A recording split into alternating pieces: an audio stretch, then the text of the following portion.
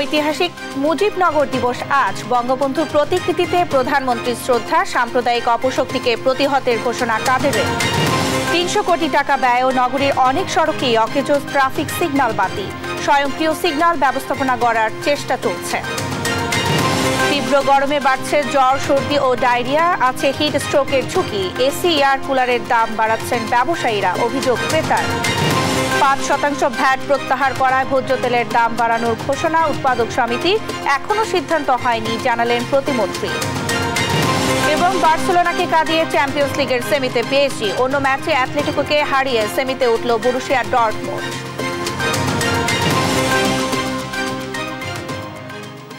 দেখছিলেন শিরোনাম, সংবাদ সকালে সঙ্গে আছে আমি শারমিন নান্সি এবারে বিস্তারিত। মুজিবনগর দিবসে জাতির পিতা বঙ্গবন্ধু শেখ মুজিবুর রহমানের প্রতি শ্রদ্ধা জানিয়েছেন প্রধানমন্ত্রী শেখ হাসিনা। শ্রদ্ধা নিবেদন করেছে আওয়ামী লীগ ও এর সহযোগী সংগঠনের নেতাকর্মীরা। সাধারণ সম্পাদক ওবায়দুল কাদের বলেন, মুক্তিযুদ্ধের বিজয় সংহত করার পথে প্রতিবন্ধক হল বিএনপি। এদের প্রতিহত করতে হবে। জয় যাদবের রিপোর্ট। ঐতিহাসিক মুজিবনগর দিবস উপলক্ষে বুধবার সকালে ধানমন্ডির বত্রিশ নম্বরে প্রতিকৃতিতে ফুল দিয়ে জাতির পিতা বঙ্গবন্ধু শেখ মুজিবুর রহমানের প্রতি শ্রদ্ধা জানান প্রধানমন্ত্রী শেখ হাসিনা। পরে দলের কেন্দ্রীয় নেতাদের সঙ্গে নিয়ে বঙ্গবন্ধুর প্রতি শ্রদ্ধা নিবেদন করেন আওয়ামী লীগ সভাপতি। এ সময় কিছুক্ষণ নীরবে দাঁড়িয়ে থাকেন নেতারা। শ্রদ্ধা নিবেদন শেষে সাংবাদিকদের সঙ্গে কথা বলেন সাধারণ সম্পাদক ওবায়দুল কাদের। তিনি বলেন দেশের ইতিহাসে ঐতিহাসিক দিন সতেরো এপ্রিল অভিযোগ করেন মুক্তিযুদ্ধের বিজয় সংহত করতে অন্তরায় বিএনপি। বিএনপি সহ স্বাধীনতা বিরোধী সন্ত্রাসী শক্তি সকল অপশক্তিকে যারা আমাদের বিজয়কে সংহত করার পথে প্রতিবন্ধক, এদের আমরা পরাজিত করব, পরাভূত করব, প্রতিহত করব এবং আমাদের লড়াইকে আমরা এগিয়ে নিয়ে যাব। এরপর ছাত্রলীগ, যুবলীগ, স্বেচ্ছাসেবক লীগ, মহিলা আওয়ামী লীগ, যুব মহিলা লীগ সহ দলের বিভিন্ন সহযোগী সংগঠনের নেতাকর্মীরা বঙ্গবন্ধুর প্রতিকৃতিতে শ্রদ্ধা নিবেদন করেন। জয় যাদব, দেশ টিভি, ঢাকা।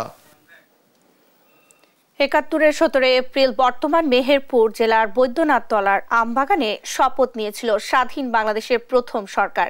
সেদিন সারা বিশ্ব জেনেছিল ২৬ মার্চে বঙ্গবন্ধুর স্বাধীনতা ঘোষণার পর বাংলাদেশ নামে নতুন রাষ্ট্রের যাত্রা শুরুর কথা। এই সরকারের গুরু দায়িত্ব পালনের মধ্য দিয়েই পূর্ণতা পায় মুক্তিযুদ্ধ, আসে ষোলো ডিসেম্বর চূড়ান্ত বিজয়। জয় যাদবের আরও একটি রিপোর্ট। ছাব্বিশে মার্চ উনিশশো একাত্তর থেকে বাংলাদেশ স্বাধীন। বঙ্গবন্ধুর এই ঘোষণায় ততক্ষণে দেশকে হানাদার পাকিস্তানি বাহিনীর কবল মুক্ত করতে মরণপণ মুক্তিযুদ্ধে ঝাঁপিয়ে পড়েছে জাতি। যুদ্ধের মধ্যেই স্বাধীন বাংলাদেশের অগ্রযাত্রা বিশ্ববাসীর সামনে মূর্ত হয়ে উঠল।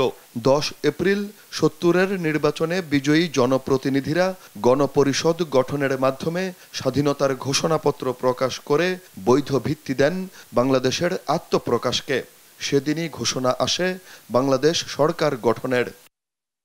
চরম প্রতিকূলতার মধ্যেই সামনে আসে মুক্তাঞ্চল মেহেরপুরের বৈদ্যনাথ তলার নাম। সিদ্ধান্ত হয়, বঙ্গবন্ধু শেখ মুজিবুর রহমানকে রাষ্ট্রপতি করে সতেরোই এপ্রিল সেখানে হবে স্বাধীন গণপ্রজাতন্ত্রী বাংলাদেশের প্রথম সরকারের শপথ। যে প্রোক্লেমেশন অফ ইন্ডিপেন্ডেন্স আর সেখানে বলা হয়েছে যে we the elected representative of the people এটাও খুব গুরুত্বপূর্ণ। মার্কিন যে স্বাধীনতার ঘোষণা, সেখানে বলা হয়েছে উই দ্য পিপল আর আমরা বলেছি we the elected representative of the people জনগণের প্রতিনিধিত্ব বটি এবং জনগণের নির্বাচিত প্রতিনিধি হিসাবে। আর সেখানে সেই নির্বাচিত প্রতিনিধিদের প্রধান হিসাবে বঙ্গবন্ধুর স্বাধীনতা ঘোষণা ছাব্বিশে মার্চের সেই আলোকেই আমাদের মুক্তিযুদ্ধ শুরু হলো। দেশের প্রথম রাষ্ট্রপতি জাতির জনক শেখ মুজিবের নামে বৈদ্যনাথ তলার নামকরণ হল মুজিবনগর।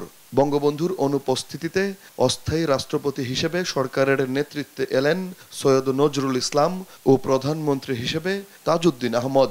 পৃথিবীতে কোনো দেশে কোনো যুদ্ধে, স্বাধীনতার যুদ্ধে এত কম সময়ে কিন্তু কোনো সরকার গঠন করতে পারেনি। এটা পেরেছিল তার প্রধান কারণ, বঙ্গবন্ধু এটাকে পরিকল্পনাটা করে গিয়েছিলেন।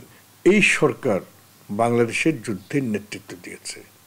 যারাই উনিশশো একাত্তর সালে যুদ্ধ করেছেন, তিনি মুক্তিফৌজ হন সামরিক বাহিনী হন, সিভিল প্রশাসন হন, সবাই এই সরকারকে মেনে যুদ্ধ করেছে। মুজিবনগরে বাংলাদেশ সরকারের শপথ অনুষ্ঠান মনোবল বাড়িয়ে দেয় রণাঙ্গনের যোদ্ধাদের।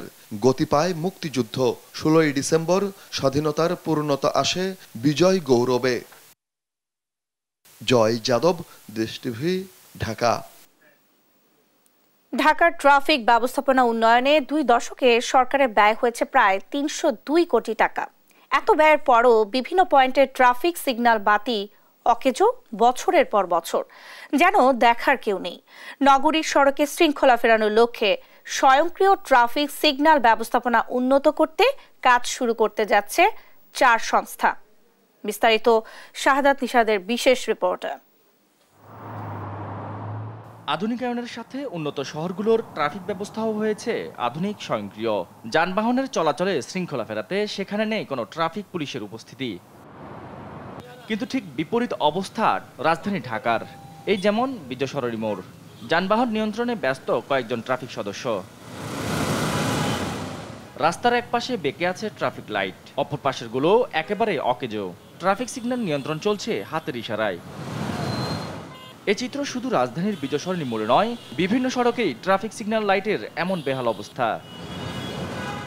আশ্বাসে দিন, মাস, বছর পার করলেও আশার বাতি দেখেননি নগরবাসী। আর হাতের ইশারায় এমন অ্যানালগ ব্যবস্থায় নিজেদের কষ্টের কথাই তুলে ধরেন দীর্ঘ সময় খারদে দাঁড়িয়ে থাকা ট্রাফিক পুলিশরা। অনেক কঠিন কাজকে খুব সহজে করা যায় সেটাই তো ডিজিটালের সবচেয়ে বড় সুবিধা। আমাদের এখন এখানে অনেক আগে ছিল সেটা আমরা শুনছি কিন্তু সেটা আমরা দেখি নাই আমরা এসে পরে। তো যদি সেটা হয় সেটা আমাদের জন্য খুবই ভালো হবে। হ্যাঁ সার্বক্ষণিক আমাদেরকে ইন্টারসেকশনে খেয়াল রাখতে হয়। কোন দিক থেকে কে আপ- মানে সিগন্যাল তো আর সবাই বুঝতে পারে না সেজন্য আমাদের ট্রাফিকের কনস্টেবল যারা আছে তাদেরকে ডেপ্লয় করে রাখা হয়। তারা সিগন্যালে দাঁড়ায় থাকে সিগন্যালটা বন্ধ করে রাখে। আর লাইট থাকলে হয়তো বা এটা করা লাগতো না। এর আগেও বেশ কয়েকবার ট্রাফিক ব্যবস্থা পরিবর্তনের কথা বলা হলেও আলোর মুখ দেখেনি সে প্রকল্প। এ বিষয়ে ঢাকা মহানগর পুলিশের ট্রাফিক বিভাগের অতিরিক্ত কমিশনার জানান, উন্নত দেশগুলোর মতো বাংলাদেশেও অটোমেশনের মাধ্যমে ট্রাফিক ব্যবস্থা নিয়ন্ত্রণের উদ্যোগ নেওয়া হয়েছে। যে প্রকল্পে যুক্ত করা হয়েছে চার সংস্থাকে। তো সম্প্রতি আমাদের কিন্তু অটোমেশন সিস্টেমের কাজটি এই ব্যাপারে একটু উদ্যোগ নেওয়া হয়েছে। যে চারটা সংস্থাকে সম্পৃক্ত করে এই কাজটি চলছে। এবং এই আপনার সিগন্যাল লাইটগুলোর কিন্তু আমরা ট্রাফিক সিস্টেমটা আমরা অপারেট করে থাকি। কিন্তু এগুলোর কিন্তু মেনটেনেন্স এটা দেখভালের দায়িত্ব টেকনিক্যাল যে বিষয়গুলো থাকে, সেগুলো কিন্তু, সেগুলোর জন্য কিন্তু নির্দিষ্ট সংস্থা আছে। আর আর্টিফিশিয়াল ইন্টেলিজেন্সের মাধ্যমে রাজধানীর সড়কগুলোয় ট্রাফিক সিগন্যাল ব্যবস্থার কথা জানান উত্তরের মেয়র। মাননীয় স্বরাষ্ট্রমন্ত্রীর দপ্তরে, উত্তর এবং দক্ষিণে এবং আমাদের স্বরাষ্ট্র সচিব সহ আমরা সবাই এক্সপার্টিসরা বসেছিলাম এবং আমরা চাচ্ছি এআই বেজ ক্যামেরার মাধ্যমে আর্টিফিশিয়াল ইন্টেলিজেন্সের মাধ্যমে ট্রাফিক সিগন্যাল হবে। সেই মান্দাত আমলে ট্রাফিক সিগন্যাল একটি ট্রাফিক রৌদ্রের মধ্যে, ধুলার মধ্যে দাঁড়িয়ে নাওয়া নাই খাওয়া নাই, অমানসিক অবস্থা থাকতে পারে না। আধুনিক ট্রাফিক সিগন্যালের কাজে একাধিক প্রকল্পে গেল দুই দশকে সরকারের অপচয় হয়েছে প্রায় তিনশো দুই কোটি টাকা। এখন যানজট নিরসনে ট্রাফিক ব্যবস্থার পরিবর্তন দেখার অপেক্ষায় সাধারণ মানুষ। নিষাদ দেশ টিভি, ঢাকা। সংবাদ সকালে আরও থাকছে। আইনি জটিলতায় বরগুনায় নষ্ট হচ্ছে কোটি টাকার সরকারি গাড়ি। নৌযান দ্রুত নিলামের দাবি সচেতন নাগরিকদের।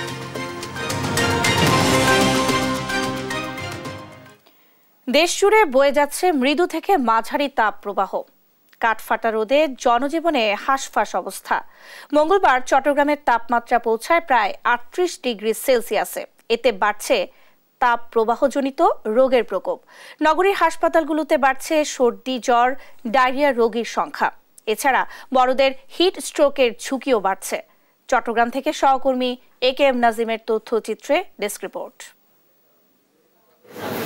প্রচণ্ড দাবদাহে পড়ছে বন্দরনগরী চট্টগ্রাম সহ গোটা দেশ। দেশের কোথাও কোথাও তাপমাত্রা ছাড়িয়েছে চল্লিশ ডিগ্রি সেলসিয়াস। ব্যবসা গরমে স্বস্তি মিলছে না ঘরেও। গরমে কাবু ছোট বড় সবাই। বাড়ছে ডায়রিয়া জ্বর সহ গরমজনিত রোগের প্রকোপ। শিশুদের পাশাপাশি বয়স্করা আছেন হিট স্ট্রোকের ঝুঁকিতে গরমের কারণে জ্বর সর্দি ডায়রিয়া সহ বিভিন্ন রোগ নিয়ে চট্টগ্রাম মেডিকেল কলেজ হাসপাতালে ভর্তি হচ্ছে সাধারণ মানুষ। তীব্র গরমের কারণে মাথা ব্যথা জ্বর কাশি শরীর দুর্বল। এই জন্য মেডিকেল আসছে। কাশি সর্দি জ্বর এগুলো থেকে ঠান্ডা গরম ঠান্ডা থেকে এগুলো হয়েছে চার পাঁচ দিন ধরে জ্বর ছিল তারপর ডায়রিয়ার কারণে আর গরমের কারণে বমি। থামতেছিল না এই কারণে ভর্তি হওয়া আর কি। সকাল থেকে অলরেডি ছয়টা স্যালাইন দিছে এখন মোটামুটি ভালো। জ্বর কাশি তিন দিন ধরে আর খাবার দাবার খাচ্ছে না চোখ মেলতে পারতেছে না। তীব্র তাপদাহের কারণে জ্বর ও কাশি সহ নানা রোগে আক্রান্ত হচ্ছে লোকজন। এক্ষেত্রে শিশু ও বয়স্কদের আক্রান্তের হার বেশি তাই সতর্ক থাকার পরামর্শ চিকিৎসকদের। বাইরের যেগুলো ক্ষেত্রে খাবার এগুলো সাবধানতার সাথে খাওয়ার জন্য আর কি বিশেষ করে পানি খাওয়ার ক্ষেত্রে বা হচ্ছে যেগুলো অনেকে হচ্ছে আখের জুস জুস খায় বা ভিন্ন জনের মানে দোকানের ইয়াগুলো খায় এগুলো যাতে অ্যাভয়েড করে আর কি বা ফুচকা চুচকা খাওয়ার ক্ষেত্রে সতর্কতা অবলম্বন করার জন্য। তিন দিনের বেশি জ্বর থাকলে চিকিৎসকের পরামর্শ নিয়ে ওষুধ সেবন করা উচিত জানান চট্টগ্রাম মেডিকেলের পরিচালক।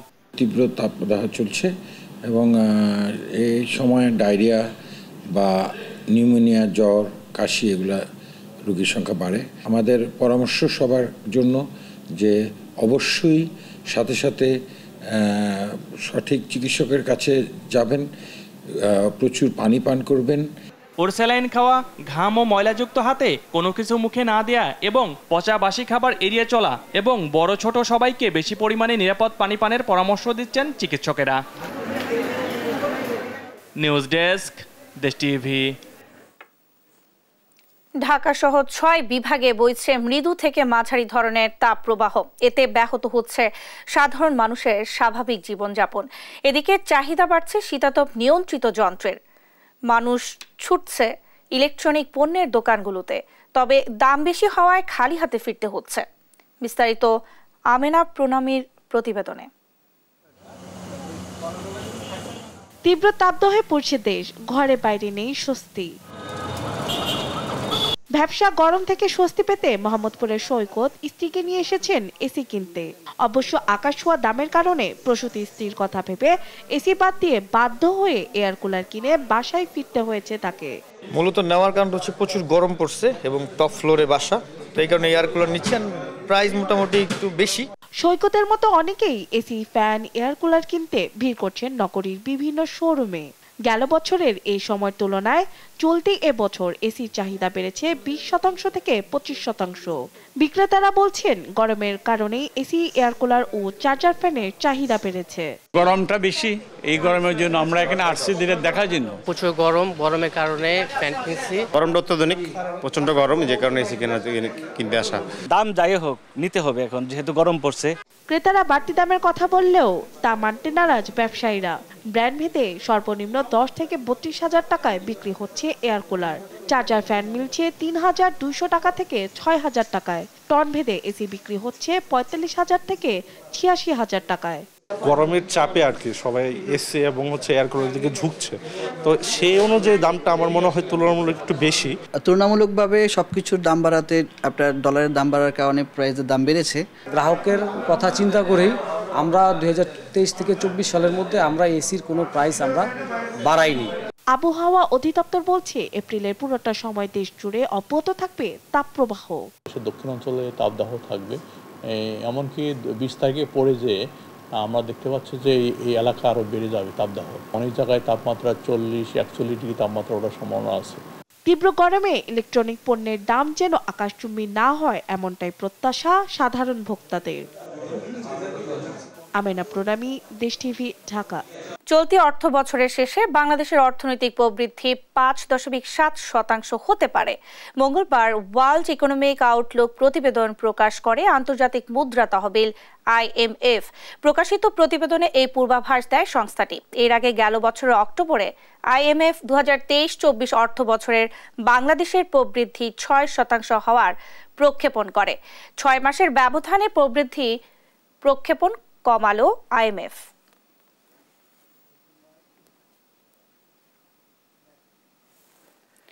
পাঁচ শতাংশ ভ্যাট অব্যাহতির মেয়াদ শেষ হওয়ায় ভোজ্য তেলের দাম বাড়ানোর সিদ্ধান্ত নিয়েছে উৎপাদক সমিতি। বোতলজাত সয়াবিন তেল লিটারে দশ টাকা বাড়িয়ে একশো তিয়াত্তর টাকা, পাঁচ লিটারের বোতল আটশো পঁয়তাল্লিশ টাকা এবং খোলা পাম অয়েল একশো বত্রিশ টাকায় বিক্রির সিদ্ধান্ত নিয়েছেন তারা। তবে বাণিজ্য প্রতিমন্ত্রী জানান, আগের দামে ফিরে যাওয়ার সুযোগ নেই। ইফতেকার রেজা রিপোর্ট।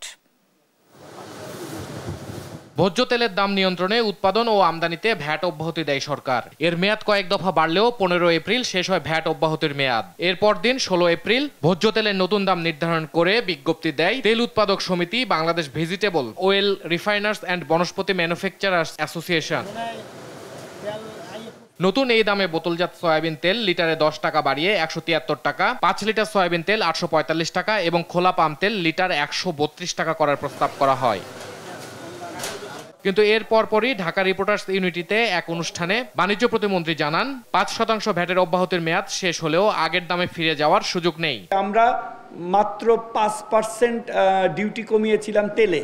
আপনি যেটা বললেন, ডাটা ড্রিভেন মানে খুব ভালোভাবে বলেছেন। আমরা ডাটার তেলের মূল্য ছিল একশো তিয়াত্তর টাকা। আমরা পাঁচ টাকা টেরিফ কমিয়েছিলাম। আগের দামে ফিরে যাওয়ার কোনো সুযোগ নাই। এ বিষয়ে ট্যারিফ কমিশন কাজ করছে উল্লেখ করে বাণিজ্য প্রতিমন্ত্রী আরও জানান আমদানি দাম দেখে নতুন দাম নির্ধারণ করা হবে। এখনও এ বিষয়ে সিদ্ধান্ত নেয়নি সরকার। যে ট্যারিফ কমিশন একটা আমদানি মিল মূল্যের উপরে নির্ধারণ করে প্রাইস ঠিক করে। সো আমাদের ট্যারিফ কমিশন কাজ করতেছে কি দামে তারা র ম্যাটেরিয়াল আনতেছে তার সাথে যৌক্তিক প্রসেসিং ফি ধরেই আমরা একটা দাম নির্ধারণ করে দিব। আন্তর্জাতিক বাজারের কারণে তেল ও কিছু আমদানি পণ্যের দাম বাড়ে যার প্রভাব পড়ে দেশীয় বাজারে। বিষয়টি বিবেচনায় নিয়ে পণ্যের দাম সহনীয় রাখতে সরকার কাজ করছে বলেও জানান প্রতিমন্ত্রী। ইফতেখার রেজা দেশ টিভি ঢাকা। সংবাদ সকালে আরও থাকছে। গাজার মধ্যাঞ্চলের শরণার্থী শিবিরের দফায় দফায় ইসরায়েলি বিমান হামলা প্রাণ গেল আরও আঠারো ফিলিস্তিনের চালের বাজার নিয়ন্ত্রণে গত চোদ্দ এপ্রিল পহেলা বৈশাখ থেকে বস্তার গায়ে চালের মূল্য, ধানের জাত ও উৎপাদনের তারিখ লিখা বাধ্যতামূলক করা হলেও এখন পর্যন্ত বাজারে তা বাস্তবায়ন হয়নি। এসব তথ্য ছাড়াই আগের মতোই বাজারে বিক্রি হচ্ছে চাল। মিল মালিকরা বলছেন, নির্দেশনা বাস্তবায়ন করতে সময় লাগবে। আর প্রশাসনের পক্ষ থেকে বলা হচ্ছে, এইসব তথ্য ছাড়া নতুন উৎপাদিত কোনো চাল বাজারজাত করলে জরিমানা সহ সর্বোচ্চ শাস্তির আওতায় আনা হবে মিলারদের। ইরফান রানার ক্যামেরায় কুষ্টিয়া থেকে নাহিদ হাসান তিতাসের রিপোর্ট।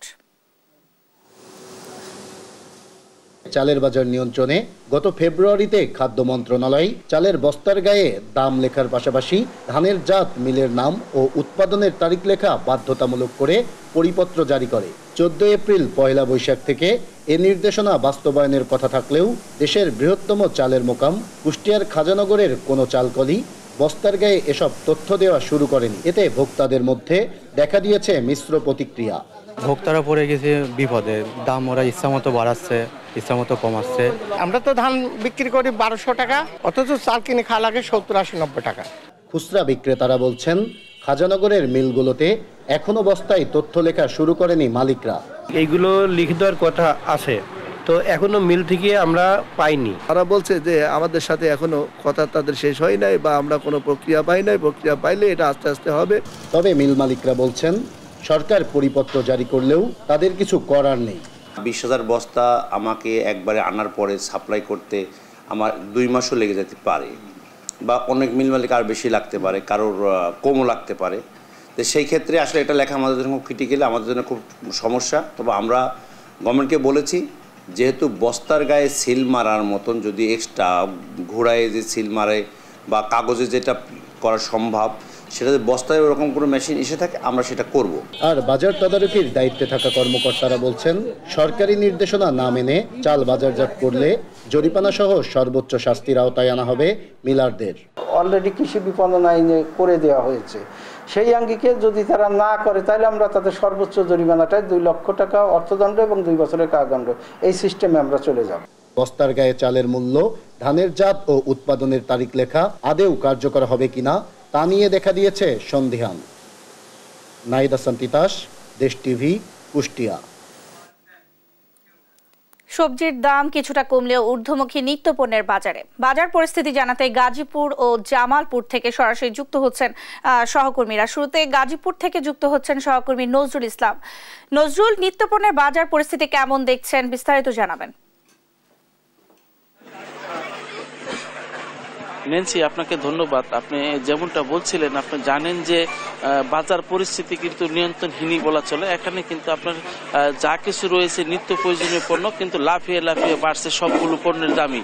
তো সকালে দেখা যায় একরকম, বিকালেই কিন্তু অন্যরকম দেখা যায়। এইভাবেই আমি যে বাজারটা দাঁড়িয়ে আছি, এটা হলো চান্দনা চৌরাস্তার সবচেয়ে বড় কাঁচা বাজার। এখানে কিন্তু দেখেছি আমি সকাল থেকেই প্রতিটি দোকানে খোঁজ নিয়ে দেখেছি যে, মুরগি থেকে শুরু করে ব্রয়লার মুরগি থেকে শুরু করে নিত্য প্রয়োজনীয় যা জিনিসপত্র আছে, মানুষের ক্রয় ক্ষমতার কিন্তু বাইরে চলে যাচ্ছে দিন দিন। কিন্তু কে মানুষ সাধারণ মানুষ যারা আছেন, তারা কিন্তু এটা নিয়ে খুব প্রকাশ করছেন যে বাজার নিয়ন্ত্রণ করে কারা? এবং বাজার নিয়ন্ত্রণে শক্ত হাতে মনিটরিং করছেন না এবং বাজারে তারা খোঁজ খবর রাখছেন না। এইভাবে কিন্তু বাজার ব্যবস্থা যা রয়েছে নিয়ন্ত্রণহীন হয়ে পড়ছেন। তো আমি যেই বাজারটা রয়েছি, সেখানে কিন্তু আজকে সকালে ব্রয়লার মুরগি কিন্তু একশো দশ থেকে একশো বিশ টাকা বিক্রি হচ্ছে এবং প্রতিটি পণ্যই তেল কিন্তু দশ টাকা কেজিতে বেড়েছে এবং আপনার সবকিছুই। এখানে নিত্য প্রয়োজনীয় যা জিনিসপত্র রয়েছে, আলু থেকে শুরু করে যা কিছু রয়েছে সব কিছুই কিন্তু আপনার দশ হইতে পনেরো টাকা কিন্তু বৃদ্ধি পেয়েছে। তো এভাবেই কিন্তু এইভাবেই কিন্তু সব কিছু বৃদ্ধি পেয়েছে। তো আমরা যদি একটু দেখাতে চাই যে বাজারে কিন্তু আপনার ব্রয়লার, মুরগি থেকে শুরু করে গরুর গোস্ত কিন্তু সব কিছুই ঊর্ধ্বমুখী রয়েছে। তো এখানে আমরা সকাল থেকে সবগুলো দোকানে খোঁজ নিয়েছি, আলু, পেঁয়াজ এবং সবকিছু কিন্তু দশ টাকা করে বেশি বৃদ্ধি পেয়েছে। নানা অজুহাতেই কিন্তু তারা এই যে বৃদ্ধিটা, সেটা কিন্তু নানা অজুহাতেই করছে তারা। তো আপনি জানেন যে বাজারের যে পরিস্থিতি, সেটা কিন্তু এখন নিম্ন আয়ের মানুষের ক্রয় ক্ষমতার বাইরে দিন দিন চলে যাচ্ছে। তো এখানে আপনার সব কিছুর দামই কিন্তু দশ থেকে বিশ টাকা বেশি নিচ্ছেন। তো এটার কারণ সম্পর্কে জানতে চাইলাম, তারা কোনো সৎ উত্তর দিতে পারেনি এবং তারা এখন বলছে সরবরাহ কম, এই কারণেই বৃদ্ধি পেয়েছে। তো পাশাপাশি সব জায়গায় কিন্তু এই অবস্থায় দেখেছি আমরা যে চৌরাস্তা বাজারে ঘুরে দেখেছি যে এখানে কিন্তু সব ধরনের, অর্থাৎ মানুষের নিম্ন আয়ের মানুষ কিন্তু বাজার বিমুখ বিমুখ হচ্ছেন এবং তারা কিন্তু আপনার মাছ থেকে শুরু করে সব কিছুই কিন্তু এখানে বৃদ্ধি পেয়েছে। এখানে কিন্তু শক্ত কোনো মনিটরিং ব্যবস্থা না থাকার ফলে কিন্তু যা ইচ্ছা তাই করছেন তারা। এখানে প্রতিদিনই কিন্তু আমরা দেখেছি যে বাজারে খোঁজ নিয়েছি এবং সবকিছুই মাছ থেকে তর তরকারি, যা কিছু আছে সবকিছু কিন্তু ঊর্ধ্বমুখী রয়েছে। তো এইভাবেই এইভাবেই কিন্তু গাজীপুরের যে বাজারগুলো রয়েছে, সবগুলো বাজারই কিন্তু আপনার মানে মানুষের নিয়ন্ত্রণহীন হয়ে পড়েছে এবং ক্রয় ক্ষমতার বাইরে কিন্তু বাজারটা চলে যাচ্ছে। তো মানুষ চা- সাধারণ ক্রেতা যারা, তারা চাচ্ছেন যে বাজারটি প্রশাসন যেন শক্ত হাতে দমন করেন। সবচেয়ে লক্ষণীয় বিষয় হলো যে একটি দোকানে কিন্তু মূল্য তালিকা আমরা দেখতে পাইনি। মূল্য যে তালিকা রয়েছে, সেই তালিকা কিন্তু আমরা দেখতে পাইনি। অর্থাৎ যা যার কাছে যা নিতে পারে এইভাবে এটাই নিচ্ছে তারা। তো নেন্সি, এই ছিল আমার কাছে চৌরাস্তা বাজার থেকে সর্বশেষ। নজরুল, আপনাকে ধন্যবাদ। দর্শক, এবার আমরা জামালপুরে যুক্ত হব। সেখানে আছেন আমাদের সহকর্মী মেহেদি হাসান। মেহেদি, নিত্যপণ্যের বাজার পরিস্থিতি কেমন দেখছেন? দাম নিয়ে কি বলছেন ক্রেতা বিক্রেতারা নেন্সি, আপনাকে ধন্যবাদ। আমি আপনাকে জানাতে চাই যে রোজার শুরু থেকে কিন্তু এক ধরনের অস্বস্তি প্রকাশ করছে সাধারণ ভোক্তারা। কিন্তু তারা কিন্তু, আমরা দেখতে পেয়েছি যে, বাজারগুলো ঘুরে যে রোজার শুরু থেকেই যে দাম বৃদ্ধি পেয়েছে, সেটি কিন্তু পনেরো রোজার দিকে একটু কমলেও ঈদের আগ থেকে কিন্তু আবার সেই দাম আবার বৃদ্ধি পেয়েছে। আমরা দেখতে পেয়েছি যে, রোজার মধ্যে জেলা প্রশাসন, জামালপুরের এবং কি জামালপুর পৌরসভার মেয়র, এরা কিন্তু ন্যায্য মূল্যে ভোক্তাদের নিকট যে পণ্য বিক্রি করেছে, যার কারণে একটু স্বস্তিতে থাকলেও ঈদের পরে কিন্তু আবার সেই আগের চিত্রই ধারণ করেছে। আমরা বাজারগুলোতে ঘুরে আমরা দেখতে পেয়েছি যে মাছ, মাংস সহ যে ডিমের দাম, সেগুলো কিন্তু এখন ঊর্ধ্ব- ঊর্ধ্বমুখী রয়েছে। আমি আপনাদেরকে জানাতে চাই যে সাতশো থেকে সাতশো পঞ্চাশ টাকার নিচে কিন্তু কোনো মাংসের কেজি নেই জামালপুর জেলা জুড়ে। এছাড়াও মাছ প্রতি কেজি- কিন্তু পঞ্চাশ থেকে সত্তর টাকা এবং প্রকারভেদে একশো থেকে একশো বিশ টাকা বেশি নেওয়া হচ্ছে। এছাড়াও আরেকটু কথা না বললেই নয়, সেটি হচ্ছে যে আজকে থেকে কিন্তু সয়াবিন তেলের যে দাম, সেটি কিন্তু বৃদ্ধি পেয়েছে। যারা খুচরা ব্যবসায়ী এবং পাইকারি ব্যবসায়ী রয়েছেন, তারা কিন্তু পূর্বের যে দামে কিনেছেন, সেটি কিন্তু বিক্রি করছেন না। তারা কিন্তু আজকের যে দাম, সেই দামে কিন্তু বিক্রি করছেন। এই নিয়ে কিন্তু জনগণের মধ্যে একটি চাপ বিরাজ- বিরাজ করছে। আর চালের দাম প্রতি কেজিতে চার থেকে পাঁচ টাকা বেশি বৃদ্ধি পেয়েছে। আমি সাধারণ ভোক্তাদের সাথে কথা বলেছি। তারা বলেছেন যে, যখন বাজার মনিটরিং করা হয়, তখন কিন্তু কিছুটা হলেও দাম একটু কমে। কিন্তু বাজার মনিটরিং ঠিক মতন না করার কারণেই কিন্তু এক এক বাজারে এক এক ধরনের দাম নিচ্ছে। এছাড়াও সবজির বাজার কয়েকদিন আগেও যেটি একটু স্বস্তির মধ্যে ছিল, সেটিও কিন্তু দিন দিন বৃদ্ধি পাচ্ছে। সবকিছু মিলিয়ে এক ধরনের নাবিশ্বাস চলে আসছে সাধারণ ক্রেতাদের। ক্রেতারা দাবি করেছেন যে, দ্রুত সময়ের মধ্যে যেন বাজার মনিটরিং করা হয়। বাজার মনিটরিং এর মাধ্যমেই একমাত্র সম্ভব এই মানুষ ভোক্তাদের যে স্বস্তিতে রাখতে। ন্যান্সি এই ছিল আমার কাছে সর্বশেষ তথ্য। ন্যান্সি মেহেদি, আপনাকে ধন্যবাদ। দর্শক, জামালপুর থেকে আমাদের সঙ্গে যুক্ত ছিলেন সহকর্মী মেহেদি হাসান। আইনি জটিলতায় বরগুনায় খোলা আকাশের নিচে পড়ে নিঃশেষ হচ্ছে। বিভিন্ন দপ্তরের কোটি কোটি টাকার সরকারি গাড়ি নৌযান ও যন্ত্রাংশ। বছরের পর বছর পড়ে থাকায় চুরি হয়ে গেছে অনেক যন্ত্রাংশ। কোটি টাকার এইসব সরকারি সম্পদ নষ্ট না করে দ্রুত নিলামে বিক্রির দাবি সচেতন নাগরিকদের। আর জনস্বার্থে নিলাম প্রক্রিয়া সহজ করতে বিষয়টি সংসদে উপস্থাপনের কথা জানান স্থানীয় সংসদ সদস্য। বরগুনা থেকে রিয়াজ আহমেদ মুসার পাঠানো তথ্য ছবিতে রিপোর্ট। দীর্ঘ বিশ বছর ধরে নিলামের অপেক্ষায় নিঃশেষ হওয়ার পথে বরগুনার পৌরসভার অসংখ্য ট্রাক সহ বিভিন্ন ধরনের গাড়ি। একই অবস্থায় পড়ে আছে বরগুনা জেলা প্রশাসকের নৌযান ঘাটে কোটি টাকা মূল্যের স্পিডবোট, এমন চিত্র জেলার বিভিন্ন দপ্তরের। যথাসময়ে নিলাম না করায় রাষ্ট্রের অর্থে কেনা কোটি কোটি টাকার সম্পদ নিঃশেষ হয়ে যাচ্ছে। এতে অর্থনৈতিকভাবে ক্ষতিগ্রস্ত হচ্ছে দেশ। এদিকে যানবাহনগুলোর নিলাম নিয়ে দীর্ঘ সময় বিভিন্ন অফিসে চিঠি চালাচালি ছাড়া আর কোনো দৃশ্যমান অগ্রগতি হয়নি। বড় যন্ত্রপাতি যেগুলো মানে টেকনিক্যাল যে বেশি এগুলো সেগুলো আমাদের জন্য আলাদা গভর্নমেন্ট থেকে কমিটি করা আছে। এই কমিটির মাধ্যমে ব্যবস্থা নিব। আমাদের স্থায়ী সরকার মন্ত্রণালয় থেকে যে যে ইকুইপমেন্টস যে যে মালামাল যে যে মানে ব্রাঞ্চের সাথে জড়িত সেইখানে যায় সেখান থেকে চূড়ান্ত অনুমোদন হওয়ার পরে যখন আবার মিনিস্ট্রি থেকে আমাদের কাছে আসে তারপর আমরা নিলাম প্রক্রিয়া যাই। যদি এই নিলাম প্রক্রিয়াগুলো বা বিক্রির প্রক্রিয়া যদি দীর্ঘসূত্রিতার হয় তাহলে যতই দিন বাড়ে ততই এখানে কিন্তু এটির বিক্রয় মূল্য বা ভ্যালু সেটি কমে যাচ্ছে। নিলাম প্রক্রিয়া দ্রুত সময়ের মধ্যে করতে সংশ্লিষ্ট দপ্তরের মাধ্যমে সমাধানের আশ্বাস জেলা প্রশাসনের। কোনো দপ্তরের এরা এই ধরনের যদি বিষয় যদি আমার গোচরে আসে সেইগুলো কিন্তু আমরা তাৎক্ষণিক ব্যবস্থা নেওয়ার চেষ্টা করি। এবং সামনেও যদি এই ধরনের কোনো অবজারভেশন থাকে সেই বিষয়গুলো নিয়ে আমরা কাজ করব যাতে সরকারের এই সম্পদগুলো যেন নষ্ট না হয়। সরকারি সম্পদ নষ্ট হওয়ার হাত থেকে রক্ষা করতে নিলাম প্রক্রিয়া সহজ করতে বিষয়টি সংসদে উপস্থাপন করার কথা জানিয়েছেন স্থানীয় সংসদ সদস্য। অনেক ধরনের অর্থনৈতিক ভাবে সাশ্রয় করা যায় বা ই করা যায়। আমি একটু খতিয়ে দেখি তারপরে আমি যদি মনে করি যে এটা জনস্বার্থে প্রয়োজন আছে, তাহলে অবশ্যই এটা পার্লামেন্টে উঠানোর মতো একটা বিষয়। বরগুনায় সরকারি ও স্বায়ত্তশাসিত প্রতিষ্ঠান মিলিয়ে বিরাশিটি দপ্তর রয়েছে। সংশ্লিষ্ট দপ্তরগুলোতে নিলাম উপযোগী বিভিন্ন সরকারি সম্পদ পড়ে আছে বছরের পর বছর। News desk Desh TV. পুরাতন বছরকে বিদায় ও নতুন বর্ষবরণের উৎসবকে কেন্দ্র করে বান্দরবানের বিভিন্ন বার্মা পাড়াতে বইছে জল উৎসবের জোয়ার। জেলা শহরে দুই দিনের বৃহৎ এই পানি বর্ষণ কর্মসূচির মধ্য দিয়ে বৈশাখী উৎসব শেষ হয়ে গেলেও এর রেশ থেকে যাবে প্রায় পুরো এপ্রিল মাস জুড়ে। বান্দরবান থেকে সহকর্মী আবুল বাসার নয়নের প্রতিবেদনে সালমা জাহানের ডেস্ক রিপোর্ট। জলের এ ধারায় ধুয়ে যাক যত অনাচার। শান্তি ফিরুক পাহাড়ে। তাই তো বান্দরবানে সাংগ্রাই উৎসবের এবারের প্রতিপাদ্য। প্রতিটি ফোটাই হোক শান্তির দূত, পৃথিবী হোক শান্ত মৈত্রীময় জলধারায় জলকেলির মাধ্যমে পদ্মা নামলো এবারের সাংগ্রাই উৎসবের। বান্দরবানের রাজার মাঠে পাহাড়ি তরুণ তরুণীরা একে অপরের গায়ে পানি ছিটিয়ে সাংরায় জল উৎসবে মেতে ওঠেন। তাদের বিশ্বাস এই জলের ধারায় মুছে যাবে পুরনো সব গ্লানি দুঃখ কষ্ট। একই সঙ্গে সাংরাই উৎসবের মাধ্যমে নতুন বছরকে স্বাগত জানান তারা। আমি আমার গত বছর জন্য দুঃখ ছিল যে খারাপ অভ্যাস ছিল আমার সেটা ধুয়ে মুছে ফেলেছি। ছয়নতলা বিহারে যাওয়া আর একসাথে আনন্দ করার মুহূর্তগুলো আমাদের অনেক খুবই সুন্দর। মনটাই খুলে মানাইয়া করতে পারি। এখানে এসে আমার খুব ভালো লাগতেছে। আর এই বছরে না এই বছরে আমাদের যার যার পছন্দ ছেলেকে পানি মারা হয় অনেক ভালো লাগতেছে। যে যার প্রিয় মানুষদের সাথে এনজয় করতে আসছি। পাহাড়ি বাঙালির মেলবন্ধনে মেলায় পরিণত হয় রাজার মাঠে মারমা সম্প্রদায় সাংরাই উৎসব। News desk Desh TV. আন্তর্জাতিক প্রসঙ্গ। ফিলিস্তিনের গাজায় ছয় মাসের বেশি সময় ধরে ইসরায়েলি বাহিনী ভয়াবহ যুদ্ধ চলছে। মঙ্গলবার গাজার মধ্যাঞ্চলের মাঘাজি শরণার্থী ক্যাম্পে হামলায় নিহত হয়েছেন আরও আঠারো ফিলিস্তিনি। রাফার একটি শরণার্থী শিবিরেও চলে বিমান থেকে বোমা হামলা। সেখানেও হতাহতের ঘটনা ঘটে। দফায় দফায় হামলায় প্রতিটা মুহূর্ত আতঙ্কে কাটছে ফিলিস্তিনিদের। এদিকে ইসরায়েলের অধিকৃত ফিলিস্তিনিদের পশ্চিম তীরে ইহুদিদের ক্রমবর্ধমান হামলায় নিন্দা জানিয়েছে যুক্তরাষ্ট্র, যুক্তরাজ্য এবং ফিলিস্তিনের মানবাধিকার গোষ্ঠীগুলো। গত সাত অক্টোবরের পর থেকে পশ্চিম তীরে ফিলিস্তিনিদের উপর সহিংসতার মাত্রা বেড়েছে।